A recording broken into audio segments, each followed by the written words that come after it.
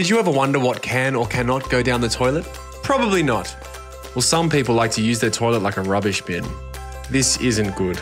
Many items don't break down, which block pipes and cause overflows at your home, yuck, and in the environment, or problems elsewhere, including our wastewater pipes and treatment plants. Let's do a jar shaker test and compare what breaks down.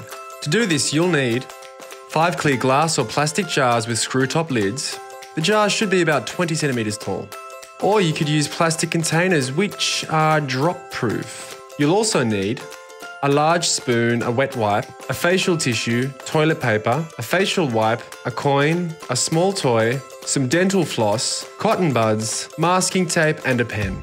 Remember, safety first. Before we start, ask an adult to help.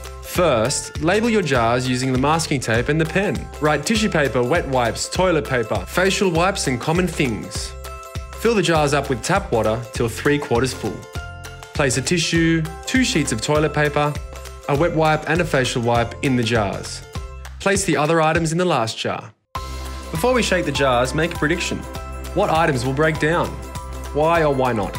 Now, let's shake. But make sure your lid is tight on tight.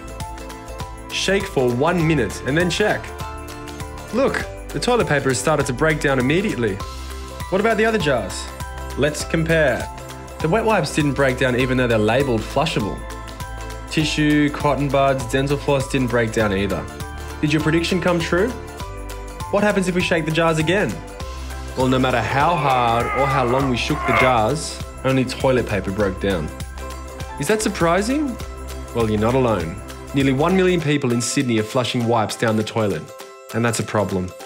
While your household actions might seem small, by only flushing the three P's poo, pee, and toilet paper you can make a big difference. What will happen if you conduct the test over one hour, six hours, or one day? What items do you predict will break down? There's lots to learn about water, so visit sydneywater.com.au forward slash education.